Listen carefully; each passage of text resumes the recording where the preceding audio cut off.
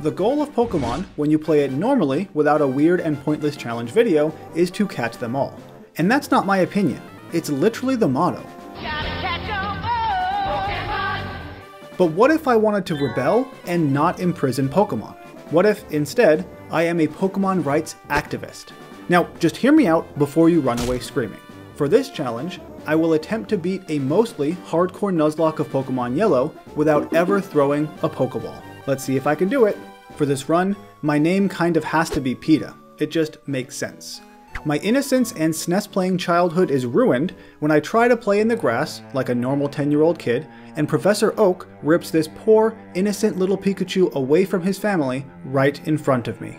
After seeing the terror in Pikachu's eyes, I make a vow to never catch a Pokemon myself. Which, as you might imagine, makes me a very popular kid in this world that revolves around legal dogfights. Of course, that doesn't stop me from taking Pizza Rat away from Professor Oak, he doesn't deserve a Pokemon, and having it battle not PETA's Eevee. Even after a paralysis, Pizza Rat is still too traumatized by his abrupt imprisonment that he can't Thundershock correctly, and he ends up falling to Eevee. After losing here, I realized the only way to achieve my lifelong dream that I made up one minute ago and liberate every Pokemon is to destroy the system from the inside. Meaning, I will need to train my Pokemon to be the very best by having them battle. But catching new Pokemon is a line I will not cross. Of course, Pizza Rat doesn't particularly like me at the moment, even though I'm not the one who caught him.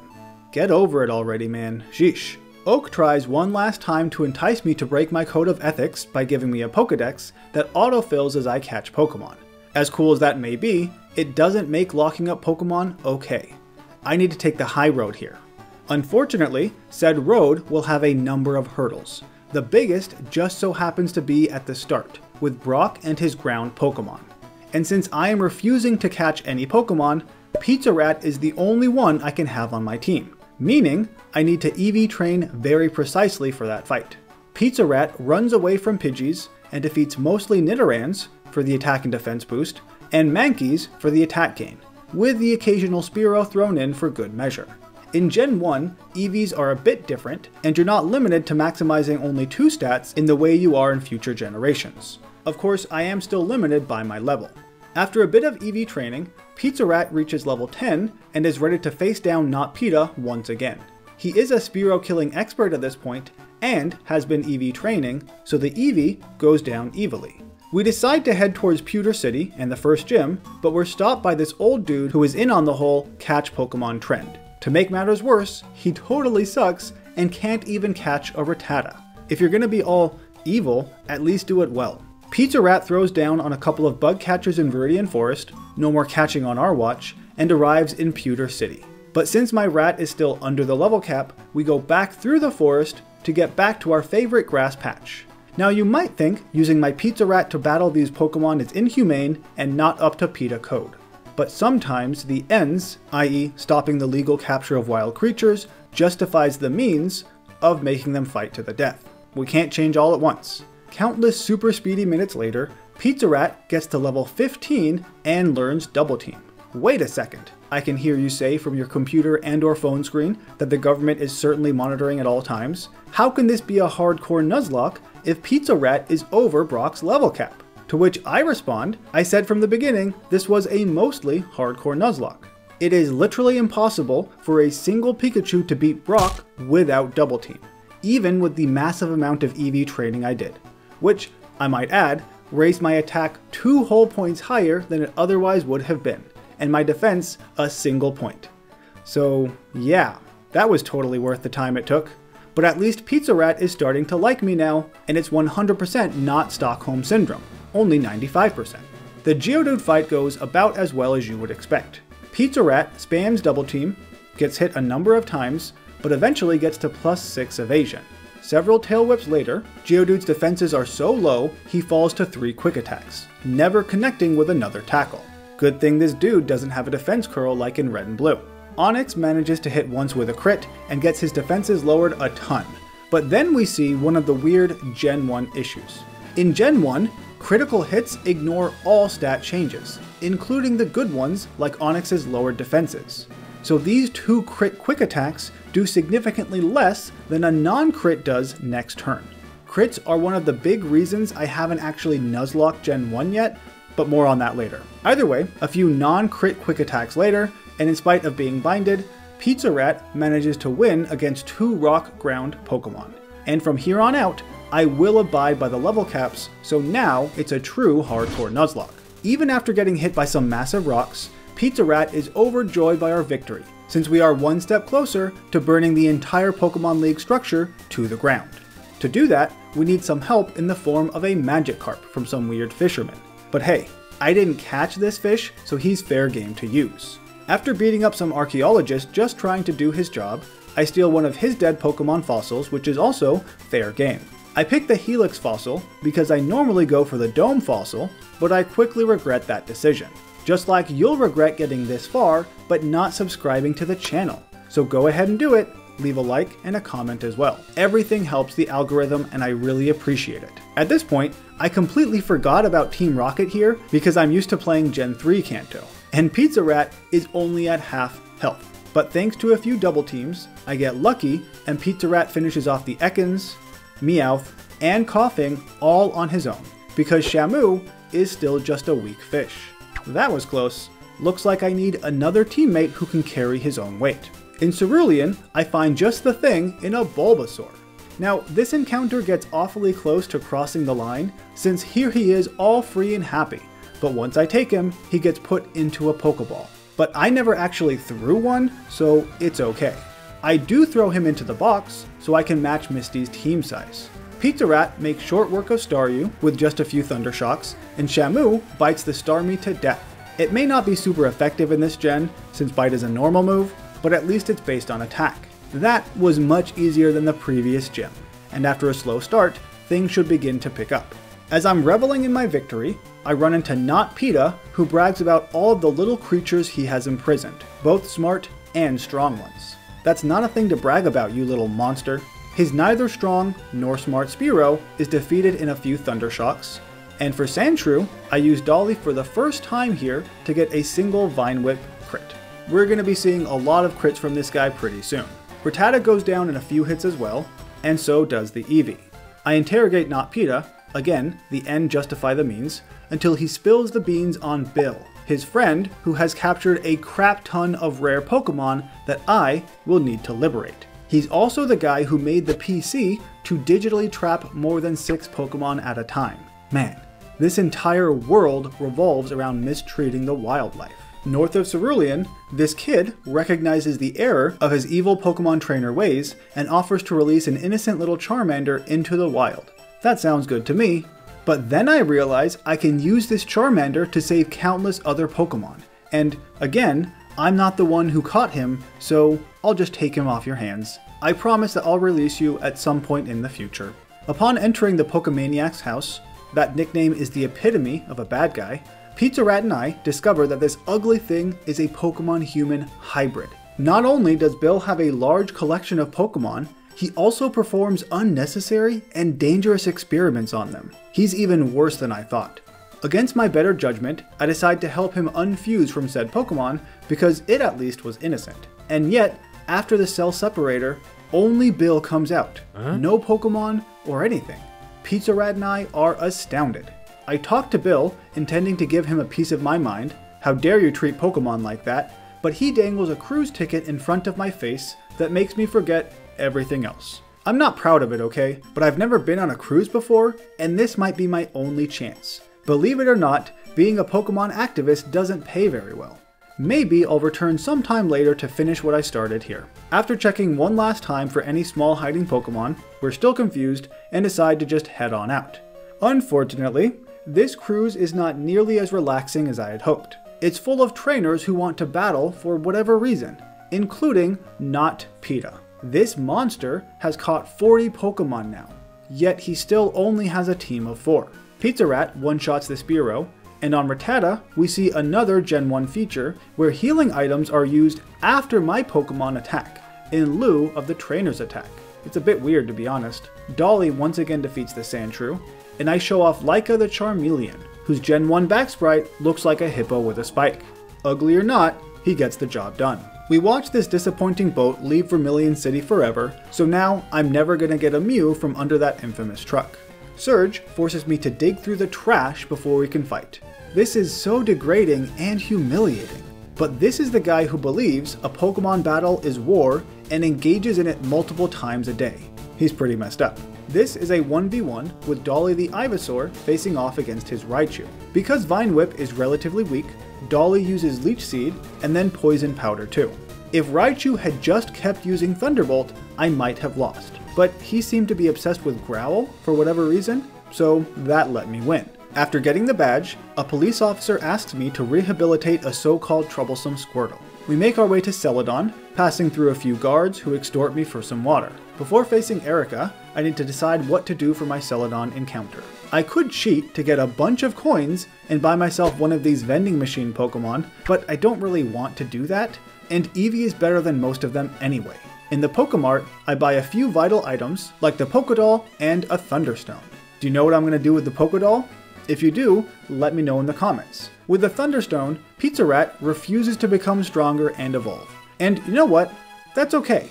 I will respect his autonomy.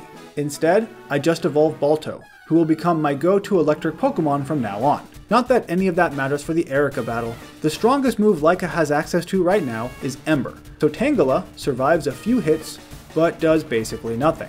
Weepinbell, on the other hand, does enough that I need to swap. Another little glitch with Gen 1 is sometimes the super effective or not very effective text is wrong. For some Pokemon with dual types, like when Dolly is hit with a poison type move, it does neutral damage, but the text says that he resists it. Dolly uses a ton of cuts, and after a crit, needs to swap to Shamu. We haven't really used him in a while. One Dragon Rage finishes off the Vileplume. With that fourth badge, we are halfway through our goal of taking over the Pokemon League but for good reasons. That just sounded like a bad guy monologue for a second there. After this gym, you typically go to the Rocket Underground to stop Giovanni and get the Silph Scope, but I don't want to do that. Instead, I decide to pay homage to the poor Pokemon who were forced to fight to the death, and I do so by fighting Notpeta to the death. Pizza Rat thunderbolts his Fearow, and Vulpix as well. Magnemite takes a few hits, and then Straw Turt shows up to Water Gun Sandshrew. Last, his Eevee is bit a couple of times. Even without the Silph Scope to identify ghosts, I can still somehow see the ghost Pokemon that these channeler trainers send out. So that's kinda weird. But the Marowak leading to the top floor cannot be identified. Normally, you need the scope for this because when you run away, he appears again, and you can't fight him. However, one trick I learned as a kid is that you can throw a polka Pokédoll at this thing, and that's it! You have calmed a restless soul with a Clefairy doll. So in Gen 1, you can in fact skip the entire rocket hideout in Celadon City as long as you don't mind not catching a Gastly. Did you know about that little trick? I think it's pretty cool. After expertly throwing around a toy, it's time to do the same with Team Rocket. Laika makes short work of them with his guaranteed crit slash attack. Because crit is based on speed in Gen 1, and slash increases the crit probability dramatically, most Pokemon with slash are all but guaranteed to get a crit in Gen 1. Jumping ahead to Saffron City, most of the town is overrun by rockets, and the police are too busy not breaking up Pokemon battles to come and help. However, this fighting dojo is open, so let's go there. Laika once again makes short work of these guys, now using Fly. But another Gen 1 trivia, did you know that in the original Red and Blue, Charizard could not learn Fly? Yeah, the Fire Flying starter had no access to flying moves at all. Didn't make much sense to me either. But Yellow fixed that mistake, and he quickly defeats Dojo Man. In lieu of taking his emblem, which I guess is a karate thing or something, he offers up one of his own fighting Pokemon. After the physical special split in Gen 4, Hitmonchan actually becomes a decently useful Pokemon, and I would have chosen him. But without access to useful elemental moves, Hitmonlee is certainly the better option. Unfortunately, I can't skip Silph Company, and Not Notpeta has been waiting for me in this rocket overrun building, not doing anything to help whatsoever. This just goes to show you, you can't trust non-Pokemon activists to do the right thing. They are all complicit in the system. Silence is violence, patriarchy, colonialism, and all those other buzzwords too. Now that Dolly has fully evolved, she can use her guaranteed to crit move, Razor Leaf. For whatever reason, the best water move Straw the Blastoise has is still just Water Gun, which is sad, but after a few pathetic squirts, Ninetales is defeated. Kadabra is slash crit, but Vaporeon survives the crit Razor Leaf, I guess I forgot how much HP he has, and almost takes out Dolly with an Aurora Beam. That was close. Following my victory, this dude gives me a Lapras, who is a Nuzlocke champion in basically any game. And while this beautiful beast could destroy Giovanni, who I am now meeting for the first time, so what are you talking about, dude? I instead want to bring out the kicks for Harambe, the Hitmonlee. He starts with a few meditates, and then body slams Nidorino, who is just spamming focus energy. Persian gets a crit bite because that stupid cat is fast, Rhyhorn falls to a double kick, and then it's on to Nidoqueen. Admittedly, at this HP, leaving Harambe in is a bit of a risk, but I don't want to waste the two meditates that he got. Body Slam fails to one-shot, paralyzes Nidoqueen, who still hits through it, getting a crit and finishing off Harambe. Dang it! If either of those moves hadn't crit, he would still be alive. But no, he had to get crit sniped for no real reason, other than to artificially provide drama for this video. What a messed up world we live in. Straw Turret is able to come out, and by now he has Bubble Beam to finish off this queen. Yes, I know I could have gotten him Surf, but I didn't want to go to Fuchsia just yet, so hold your horses. But not really, because animal abuse. I saved this millionaire's business, because the game made me, and his response is to give me a super secret Master Ball that will never fail to catch a Pokemon. What about my journey so far makes him think I would want this thing? Has he even watched the video? So right in front of this president, I rummage through my bag, find the Master Ball, and throw it directly into the trash, holding eye contact the entire time. What a horrible person you are, Mr. Silph, if that even is your real name. At least now Team Rocket has left, so I can enter the fifth gym. I decide to leave with Balto, the Jolteon. Not for his electric attacks, but because he learns Pin Missile, which is super effective against Sabrina's psychic Pokemon. Abra immediately falls, Kadabra takes the first few hits, only to recover, and then falls to the second volley. Last is Alakazam. After a Thunder Wave, Balto gets a 5 hit Pin Missile, almost beating the gym, having taken no damage at all. He does end up getting Crit Psychic, but it's too little, too late for Sabrina. Couldn't see that one coming, could she? Now I get to Fuchsia, and I am horrified by this city. Not only do they keep mighty, majestic Pokemon, like Slowpoke and Voltorb, in cages for people to gawk at, but there is also something called the Safari game, Pokemon You Catch, which is made all the worse due to that crappy slogan. For the small price of $500, you get to enter the Safari Zone and traumatize as many Pokemon as you want. I'm loath to support anything about this endeavor, but I heard there's a prize inside, and I like free things. So to make up for participating in this evil, every time I see a Pokemon, I throw it some food. I bet you're the type of people who throw rocks instead, you monsters.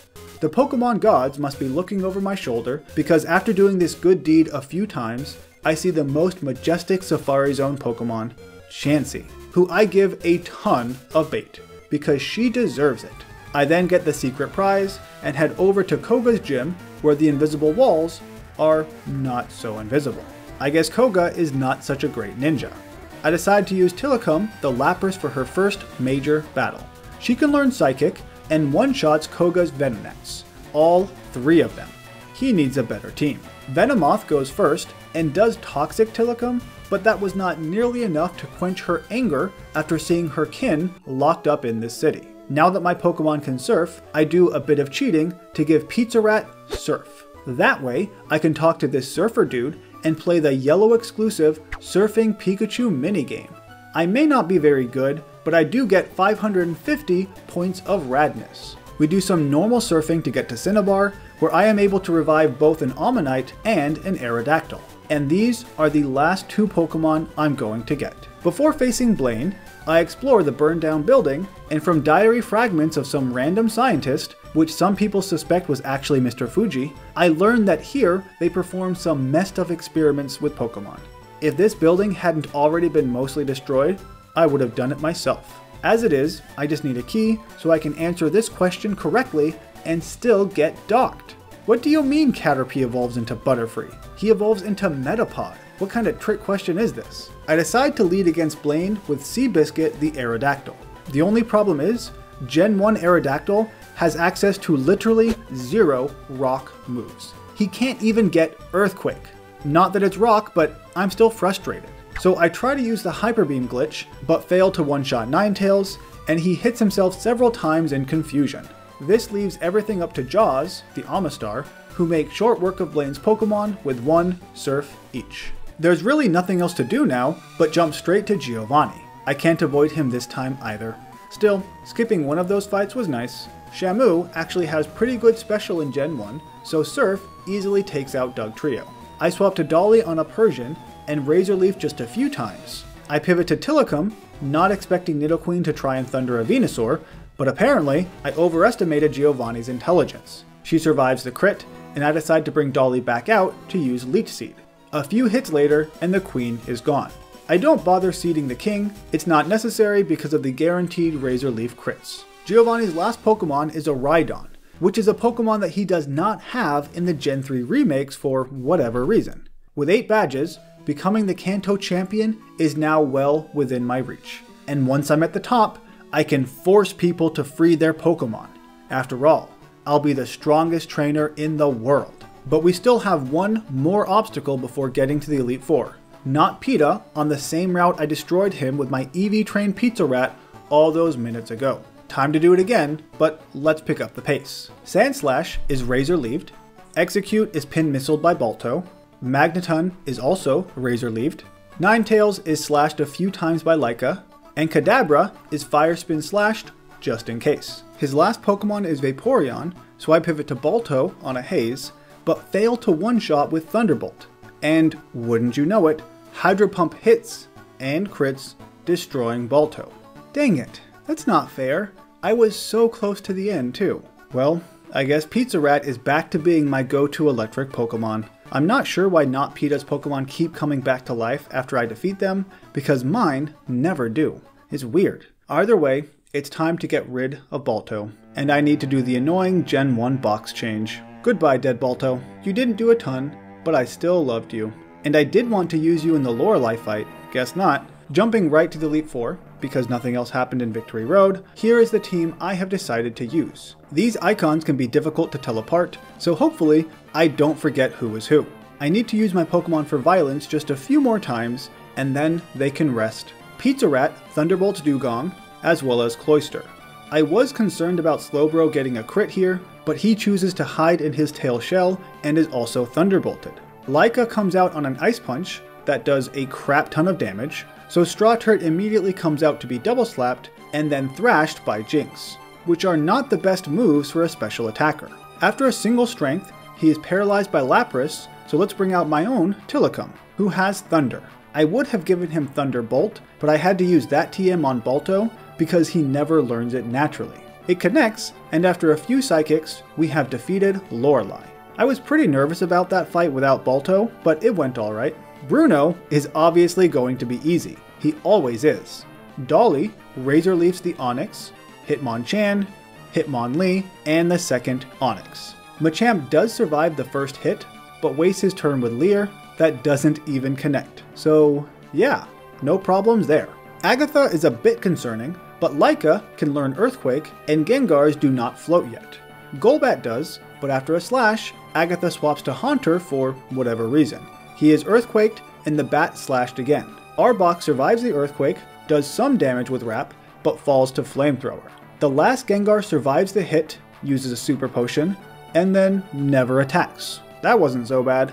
I considered giving like a Swords Dance here, but it looks like I didn't need it. Trusty Pizza Rat leads the charge against Lance to, you guessed it, Thunderbolt his Gyarados. Before swapping, he uses Light Screen and is hyperbeamed in the face by Dragonair.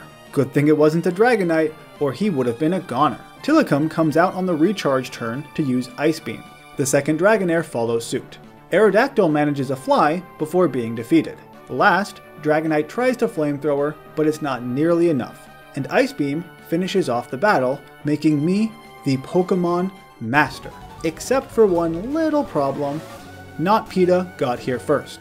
And like always, he's trying to prevent my noble work because we've learned throughout this video how much he loves to catch Pokemon, and I am a threat to his horrible hobby. Alright, just one last battle.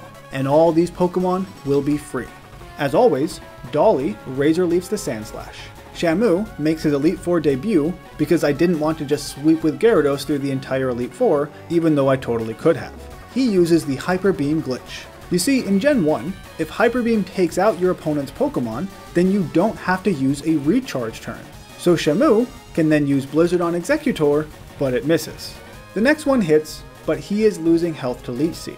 So it's time to use another Hyper Beam glitch. He fails to hit Ninetales with Surf, thanks to Alakazam's Kinesis, but it does connect on the next turn. Unfortunately, Shamu meets his match with Magneton. Dolly returns on a Screech and uses the only move she really needs in Gen 1. I go for Leech Seed on the Vaporeon for no real reason, and Dolly is crit Aurora Beamed, almost to death. I can't lose a Pokemon in this last fight, not when they're so close to their freedom, so I pivot back to Shamu to deal just a bit of damage. I don't want him to defeat Vaporeon though. That honor belongs to my best friend, Pizza Rat. Even though Thunderbolt fails to get the kill, Vaporeon just uses Haze instead of trying to defeat Pizza Rat once and for all.